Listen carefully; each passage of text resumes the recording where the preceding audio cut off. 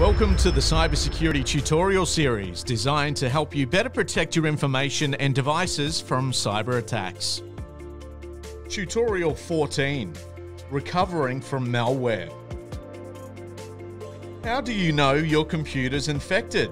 Unfortunately, there is no particular way to identify that your computer has been infected with malware. Some infections may completely destroy files and shut down your computer, while others may only subtly affect your computer's normal operations. Be aware of any unusual or unexpected behaviors. If you are running antivirus software, it may alert you that it's found malware on your computer. The antivirus software may be able to clean the malware automatically, but if it can't, you will need to take additional steps.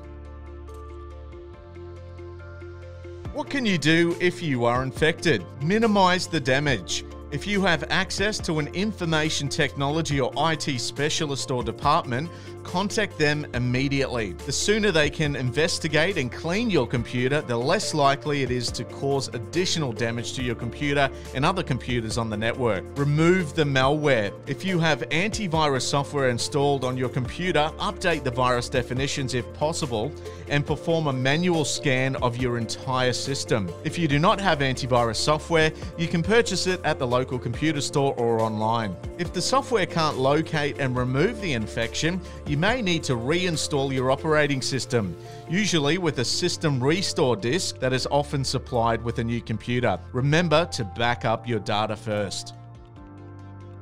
How can you reduce the risk of another infection? Dealing with the presence of malicious code on your computer can be a frustrating experience that can cost you time, money, and data. The following recommendations will build your defense against future infections.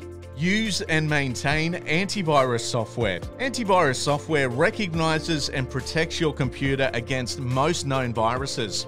However, attackers are continually writing new viruses, so it's important to keep your antivirus software current. Change your passwords. Your original passwords may have been compromised during the infection, so you should change them.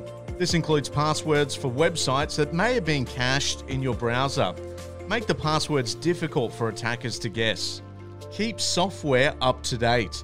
Install software patches so that attackers can't take advantage of known problems or vulnerabilities. Many operating systems offer automatic updates. If this option's available, you should enable it. Use anti spyware tools. Spyware is a common source of viruses, but you can minimize the number of infections by using a legitimate program that identifies and removes spyware. And follow good security practices. Take appropriate precautions when using email and web browsers so that you reduce the risk that your actions will trigger an infection.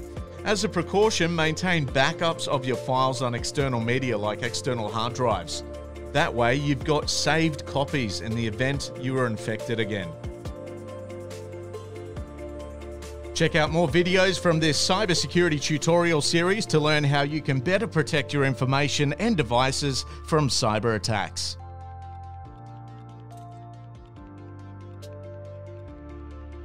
Cyber Health is powered by the Chamber of Commerce and Industry Queensland and REDD. This project is funded by the Australian Government Department of Industry, Science, Energy and Resources through the Cybersecurity Business Connect and Protect program. For more information, visit cyberhealth.com.au.